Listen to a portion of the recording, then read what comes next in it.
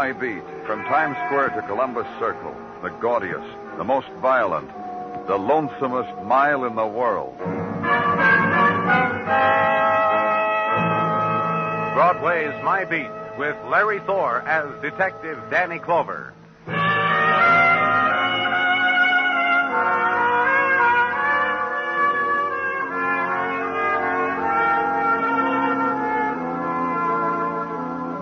On the days before Christmas, Broadway dances along to carols that flow from sequined loudspeakers. The kids mash their noses against the plate glass, lick it, and watch.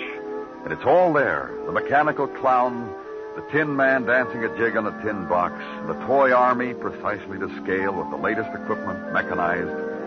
And eyes are bright with desire and hope. It's the one time in the year when odds are better that dreams will come true. So make a wish on a neon star.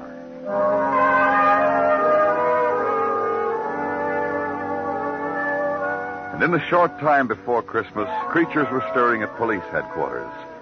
There's the patter of tired feet and the sound of manly giggles as little gifts are hidden in desk drawers or poured into Dixie cups or slipped under the police blotter. And in my office, my strong right arm, Sergeant Gino Tartaglia. Yeah, it's getting pretty late, Gino. A couple more hours, you can go home and finish decorating your Christmas tree. Indeed, indeed. Getting a lot of nice things this year, Gino? Oh, many's the things, Danny. I guess my old cockles should be warmed. Ah, but they're not. Oh, something wrong, Gino? What I want most for Christmas, Danny, I'm not going to get. I'm going to get nicks and knacks and an electric shaver and handkerchiefs and socks and ties and a curved Kaywoodie pipe to smoke my troubles away. Sounds like a pretty full Christmas to me, Gino. ah, humbug. Danny, what I want most is to go out and solve a crime. To meet face to face the sultry sirens, the hardened criminals, and to solve them the way you do. To go out on a case with you, my fondest wish for Christmas. Oh, police headquarters would fall apart without you, Gino. You just stick around here and do your job. Yeah, indeed, indeed. I just thought I'd let you know, that's all. Oh, well. Uh, I'm going downstairs for some coffee. I'll be back soon. Roger. Oh, face it, Gino. You're stuck in a desk.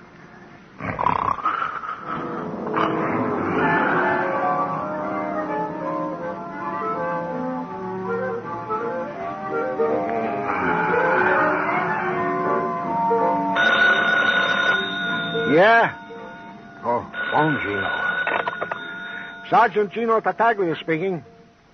Yes. Yes. Yeah, right away. Danny. Hey, Danny. Yeah, what's the matter, Gino? I haven't gotten my coffee yet. Coffee at a time like this? Buddy Malpaugh, the ne'er-do-well millionaire. What? What about him? What about him? He has been slugged. Let's go, Gino. Did you say let? Of course, on a case like this, I'll need you, Gino. Come on.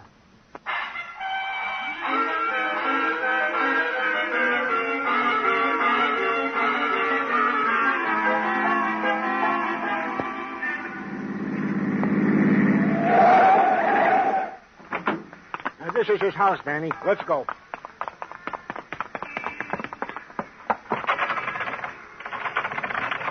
It's locked. Yeah. Stand aside, Danny. Huh. We can go in now, Danny. Gino, Yeah. we could have rung the bell. Who's got time? You coming? Over here, Gino, back of the sofa. Oh, yeah. Yeah. Take a note, Danny. Yes, Sergeant. Buddy Malpaugh, the unconscious ne'er-do-well millionaire, battered and bludgeoned on the supraoccipital region of the cranium, Hmm? back of the skull, Danny. Slugged on the supraoccipital by assailant unknown. From the size of the lump on Buddy Malpaugh's heretofore refined head, conclude that said lump was administered by a blunt weapon three millimeters by five, of the irregular contour and lead pipe consistency. You got that, Danny? Yes, Sergeant. Hold it. I got a P.S. To wit, luxurious apartment of said ne'er-do-well millionaire, one Buddy Malpaugh, ransacked and left in disarray. P.P.S. The butler of said household will have his work cut out for him. Shall I phone it in now, Sergeant? Don't move. Huh? The drapes just moved. All right. You, behind those drapes. Out. With your hands clasped behind your neck. Out.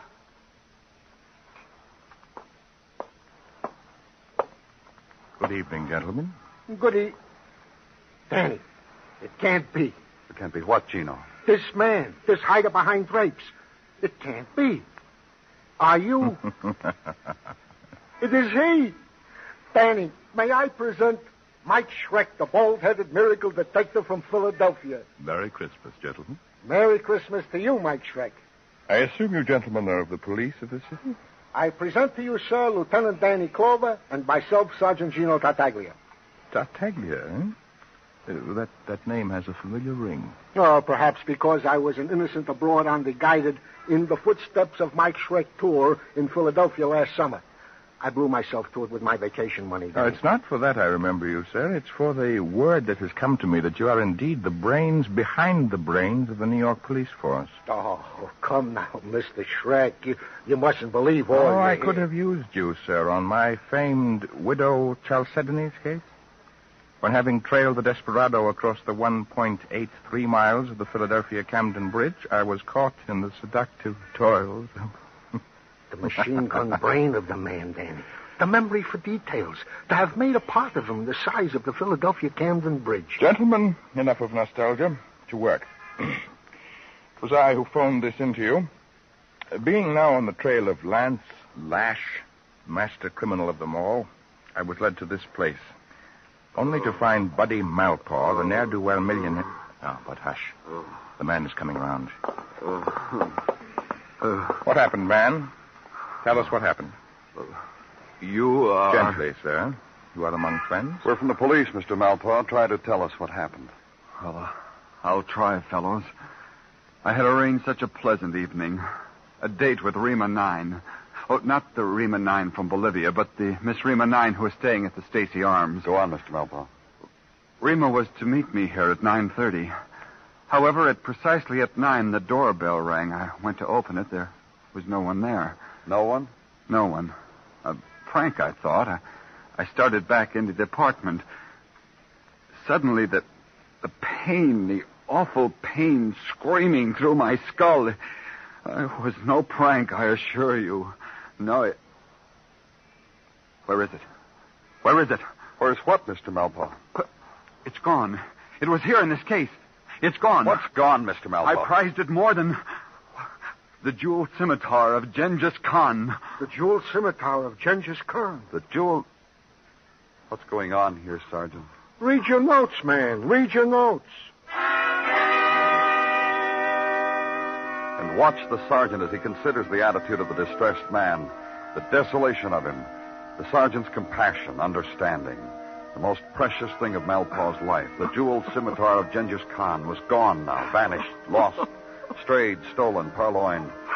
The sergeant's gentleness and the knowledge of it caught up with Malpaugh, took hold, displaced everything until there was only emptiness, void, vacuum, space, nothing. And finally, the ne'er-do-well millionaire's rejection of it. And turn now, and Sergeant Tartaglia nods sagely. Open the door for him, and leave.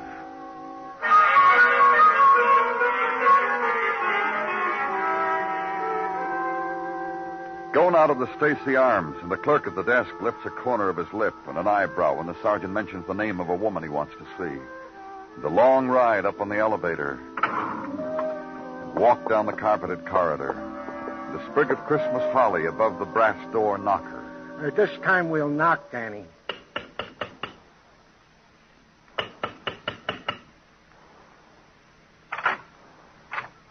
Hi, fellas. Please come in. You'll forgive the way I look. We're from the police, Miss Nine. Yeah, we got some questions to ask you. A piece of finery I picked up at Cote d'Azur. I always wear it at this hour, the wishing hour. You may call me Rima. I'm Gino. He's Danny. It's about Buddy Malpaugh, Miss Nine. Yes. He was beaten and robbed this evening.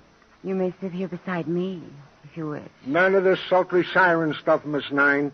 Didn't you have a date with Mr. Malpaugh this evening? Yes, I did at 9.30. That check, Sergeant. What time did you get to the Malpaugh mansion? At 9.30. I rang the bell and rang it. No one answered. I was so disappointed. With an educational evening like that in sight. Educational? Buddy was going to show me the jeweled scimitar of Genghis Khan. The real one, not the replica. Oh? There's a replica? At the Museum of Far Eastern Lore, I often go there in my idle moments and browse around the Far Eastern things. You're a strange one, Rima. Yes. Uh, please go on. That's how I met Buddy at the museum. Fate plays strange tricks, doesn't it, Gino? Yeah. Now, if you'll pardon me, fellows, I must change. Well, go right ahead. We'll just make ourselves Let's go, Gino.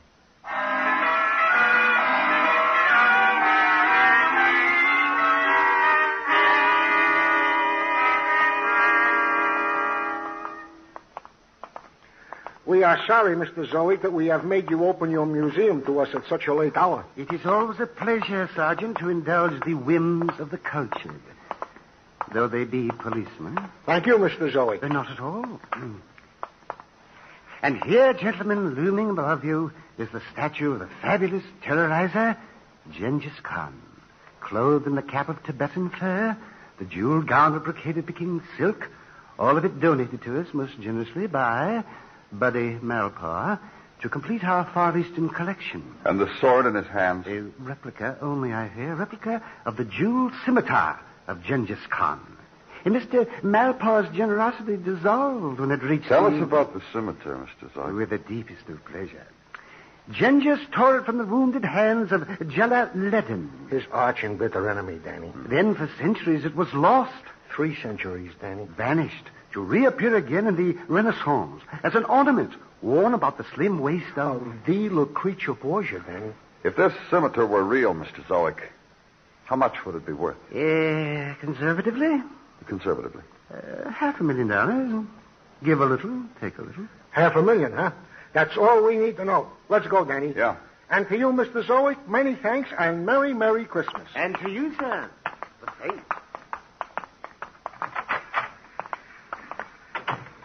Half a million bucks, Danny. No wonder Mr. Malpaugh, the ne'er-do-well millionaire. Gino, hit the ground, hit the...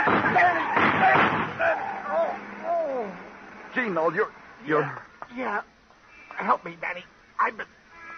I've been shot.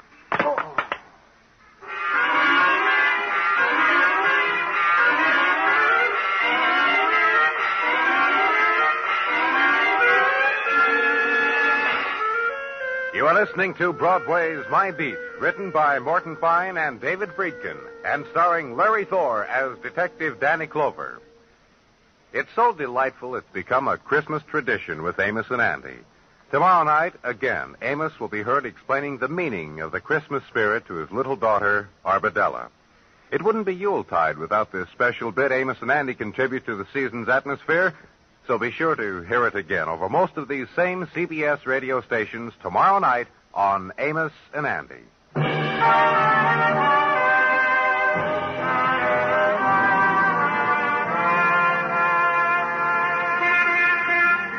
As the winds move to the place of the year's dying, the Mazdas on Broadway's Translux arrange themselves in merry thoughts. Suitable for Christmas past, Christmas present, Christmas future. Broadway walks by, glances up, smiles, hurries to buy the last minute gift for the last minute friend. Crosby sings the tune that's in your heart.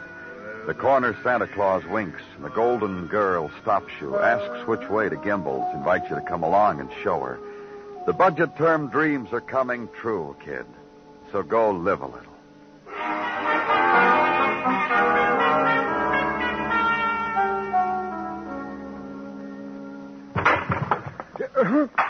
Danny, Danny, I've been shot.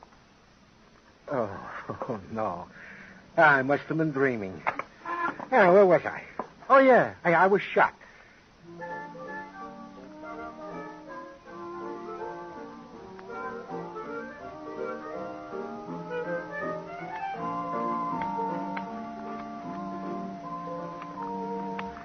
Uh, there you are, Sergeant. As good as new. My thanks, Dr. Sinsky. Uh, may I say something, Gino? Indeed, you may. I've been privileged to attend many courageous men. But you, you, Gino, oh, no other way I can say it. I, I stand in humility before you. Ah, Dr. Sinsky, you you shouldn't say those things. I He's right, Gino. Dr. Sinsky's only saying what all of us feel. We've already initiated proceedings for an award for bravery beyond the call of duty. Danny, Dr. Sinsky, dear true friends. I know not what to... May I? Uh, go right ahead, sir. Thank you. Sergeant Gino Tartaglia speaking. Yes? Yes. Yes. That was my Schreck. Evil has come to him. Get me a squad car. But, Gino, you Never can't- mind the hole in my head. Danny, a squad car.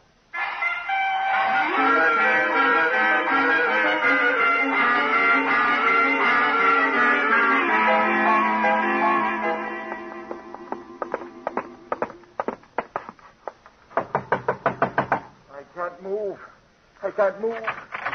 The door's locked, Gino. One side.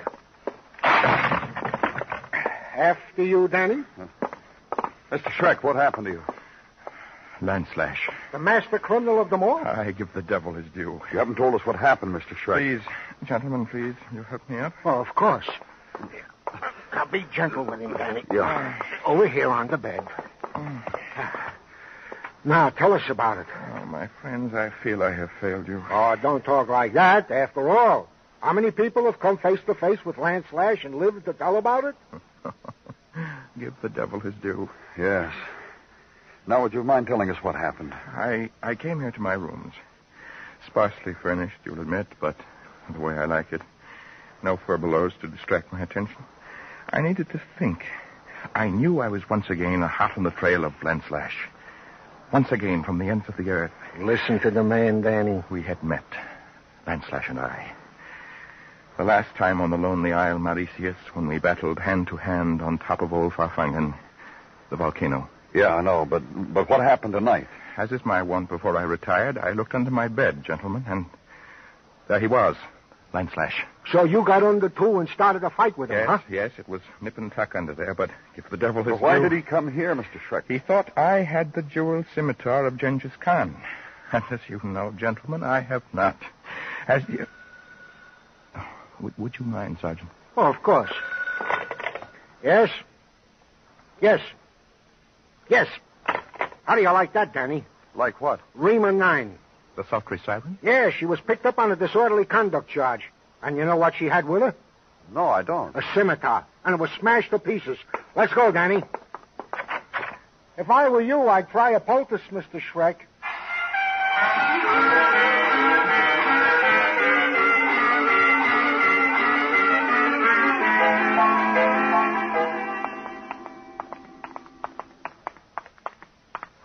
Open it, Danny. Yeah.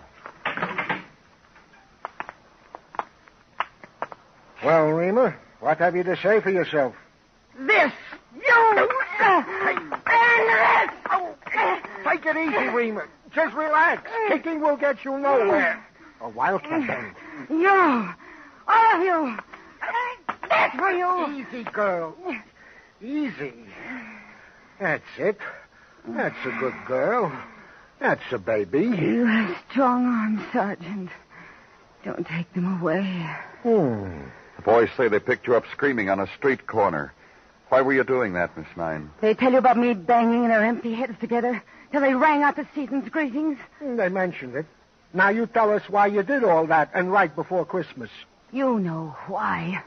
That piece of mail order carving knife masquerading as the jeweled scimitar of Genghis Khan. Not the genuine article, huh? Not the genuine article, huh? He says. It was a fake! A dirty, rotten, Don't scream, Angel. We're all nearby. Okay, so it was a fake, Miss Nine. Where'd you get it? What's that got to do? Only this. You rang Buddy Malpaugh's bell at nine last night. You slugged him, stole the scimitar. Now you're hurt because it's a fake. Charges pile up, huh, Sergeant? Assault, theft. Indeed they do, Rima. Book me for anything you want, lover. Just so you bring in that woman-beating cab driver. Huh? The cab driver. I get in this cab. Tell him to get me to the airport in a hurry. Why should I stay in this lonesome town when what I had in my hands was worth half a million? what I had in my hands. Go on. So Cabby tilts his cap to me. I see the union label. I figure he's friendly, trustworthy, loyal. I make chit-chat with him when, wham, bang, he turns onto a side street, grabs me by the throat, wrestles me for the scimitar. He looks at it, then breaks it over my head. And you know who he was? Who he really was? Not Not. None other. Lance Lash, the master criminal of them all. Lover, imagine poor little me in the clutches of Lance Lash. Oh, there, there. Don't think about it. You can let her go now, Gino. Read your notes, man. Just read your notes. And leave there. Go away. Find a place at police headquarters and close the door to the outside. Think about it, you and Sergeant Tartaglia. Put it down and add it up. It doesn't come out. So Sergeant Tartaglia puts it down and adds it up. And it comes out. Go to a place now, back to the museum, and tell it all to a man you talked to before. I can't believe it. I just cannot believe it. You it. better believe it, Mr. Zoid, because that's the only way it makes sense. That's right. If the scimitar stolen from Buddy Malpaugh was a phony, then the one the statue of Genghis Khan is holding is the real one. The ingeniousness of the man Malpaugh. What better way to keep his treasure safe than to put it before the eyes of the world? We want to see again, Mr. Of course, of course you do. This way, this way. Ah, this is very gratifying to me, you know, this publicity. People from all walks of life now drop in to catch a peek of the statue of Genghis Khan holding the scimitar. And just ten minutes ago, I had to warn a cab driver to keep hands A cab off. driver? Yes, interesting fellow, too. Interesting face. We better hurry, Danny. Yeah. Eh, eh, eh, yeah, yeah. Now, look, look. I don't understand. Genghis Khan. He's dressed like a cab driver. He's holding a city guidebook in his hand. The scimitar is gone. It's impossible. Maybe, but it's happened. The cab driver changed clothes. and- Maybe we can catch him, Danny. Yeah.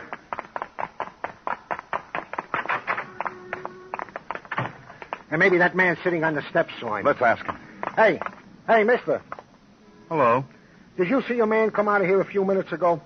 Well, I guess I did. I've been sitting here for the last hour. Did you notice anything strange about any of them? The way one of them was dressed? Let me see now. Uh, this man had on a fur cap and a brocaded robe. He was carrying a scimitar. Oh, sure, I saw him. I didn't pay him no mind, though. I just figured he was from California. Let's go, Gino. Danny? Danny, I think I got it. Got what? Get in the car and I'll tell you all about it. Oh, where are we going? To see Mike Schreck, the bald-headed miracle detective from Philadelphia. I think we're at Trail's End.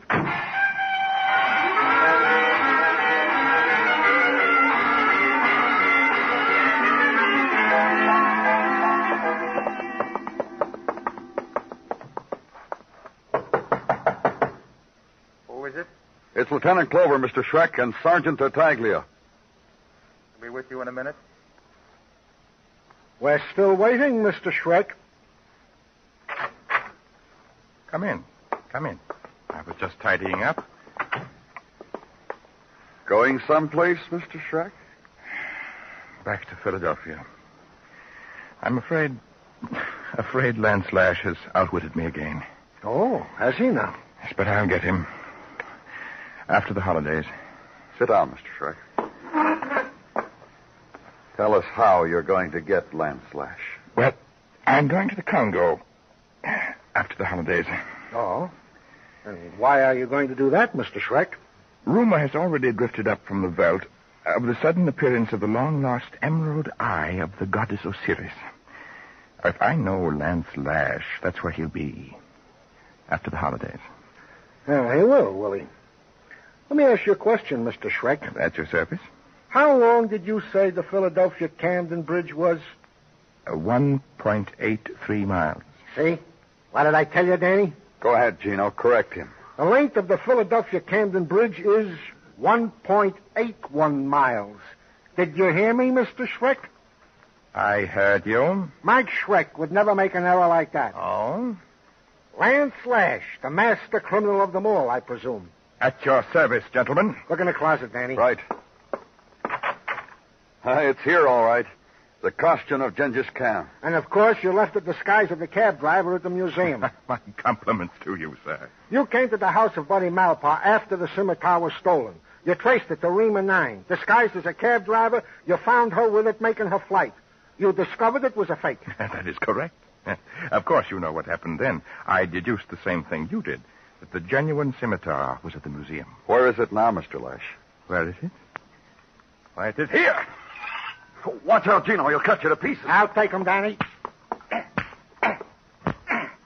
Lance, Don't. Don't. say uncle. Uncle. Uncle. Yeah. Look, Danny, see? I removed this bald-headed toupee, and what do we have? A full head of hair. What a phony you are, Lance Lash.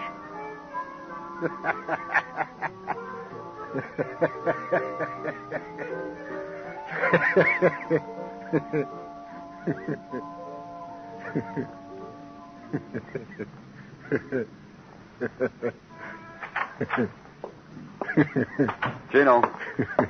Gino. Come on, Gino, wake up. Come on, come on. Huh? You fell asleep, Gino. Huh? Yeah. Yeah, I must have dozed. No calls, huh? Yeah, from. No. No calls. What's the matter with you, Gino? Danny, Yeah? I had a dream, Danny.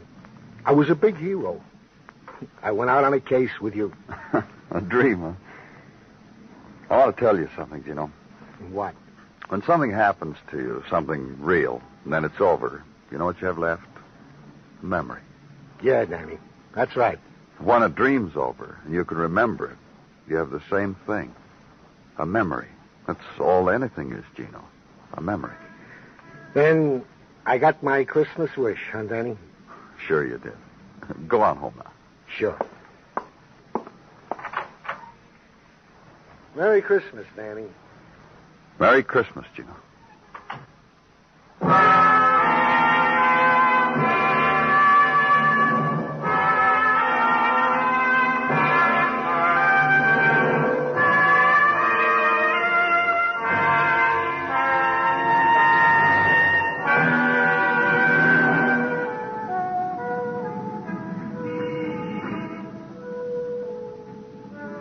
The bells ring out on Broadway, the horns laughter. The translux spells out peace on earth, goodwill to men. You read it and believe it, because it's Christmas time, the time for believing in miracles. The crowd pushes you along, and you're part of it. It makes you happy. It's Broadway, the gaudiest, the most violent, the lonesomest mile in the world. Broadway. My beat.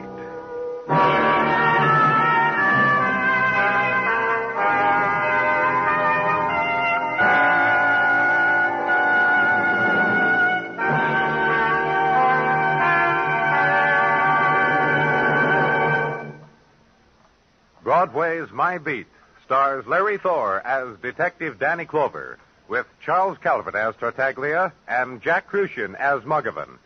The program was produced and directed by Elliot Lewis, with musical score composed and conducted by Alexander Courage.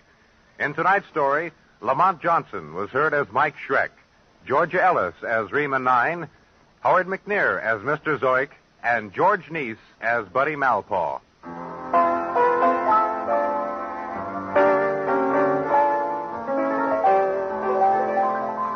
Ships loaded with vital cargoes for our men at the fighting front are swinging at anchor for lack of radio officers. Men with six months merchant ship radio operating experience since 1935 or any kind of FCC license can get an emergency license to ship at once.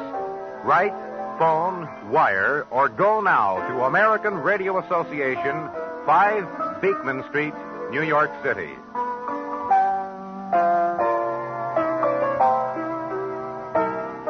Bill Anders speaking. And remember, the comedy treat that can't be beat is Jack Benny Time, Sunday nights on the CBS Radio Network.